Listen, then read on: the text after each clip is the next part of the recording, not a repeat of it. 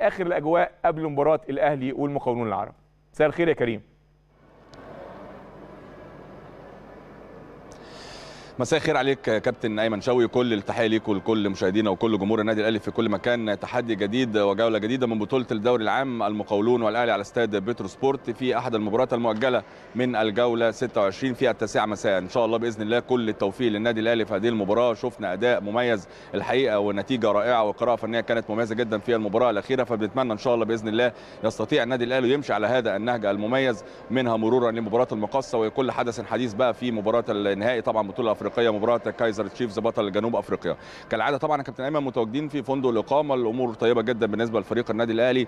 انتهت بقى خلاص الاستعدادات الفنية بمران أخير على استاد مختار التتش. الحقيقة التركيز كان واضح بشكل كبير جدا على كل لاعبي النادي الأهلي. مرحلة مهمة جدا وتلاحم كبير. خلاص يمكن دخلنا في المراحل النهائية لكن بالإصرار الكبير وبالعزيمة اللي بنشوفها وبجدية لاعبي النادي الأهلي يعني بيبقى عندنا تفاؤل كبير جدا إن إحنا كل مباراة نشوف الأداء المميز جدا اللي بيخوضوا بيه النادي الأهلي بطولة الدوري العام.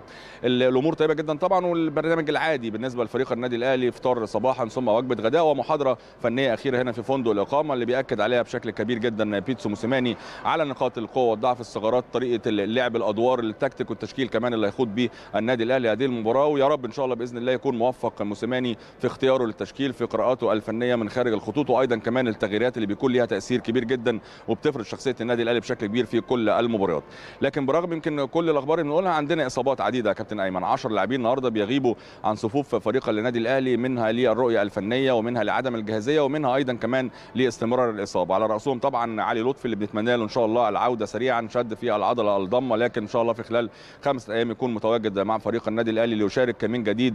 آه ممكن ما يلحقش مباراة المقصه لكن يعني منتظرينه إن شاء الله يكون في مباراة الكايزر تشيفز بطل جنوب أفريقيا. بينضم لعلي لطفي وليد سليمان أيضا كمان إصابة للعضلة الخلفية. ناصر ماهر رؤية فنية. محمود متولي عدم جاهزية كريم ندفد أحمد رمضان بيكهام رؤية فنية مروان محسن أيضا رؤية فنية سعد سمير ومحمد محمود. عدد كبير من الغيابات 10 لاعبين لكن كالعادة إن شاء الله بإذن الله لعيبة النادي الأهلي الأهلي يبقى منحدر في كل المباريات رغم الظروف ورغم الصعوبات لكن إن شاء الله بإذن الله لعيبتنا تكون على قدر المسؤولية كالعادة ويكونوا سبب في إسعاد كل جمهور النادي الأهلي. 21 لاعب في القائمة إن شاء الله بيتسو موسيماني يكون مميز في اختيار التشكيل. الأمور كلها طيبة جدا يا كابتن أيمن وإن شاء الله بإذن الله أول ما وصلنا على طول لإستاد بترو سبورت يكون معاك تشكيل المباراة. ننقل لك الأجواء وننقل لك كمان يا كابتن أيمن أرضية الملعب. يمكن إحنا بقالنا فترة كبيرة ما تواجدناش على ملعب استاد بترو سبورت. فنشوف جودة أرضية الملعب.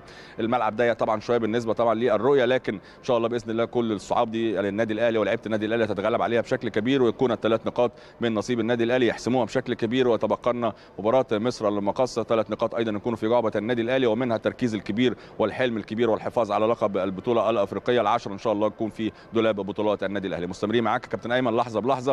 ننقل كل الكواليس من أخبار ومن فندق الإقامة وحتى ملعب المباراة. عودة لك من جديد والكابتن أيمن شوقي. شكرا جزيلا الزميل العزيز كريم أحمد. يمكن كريم طمنا.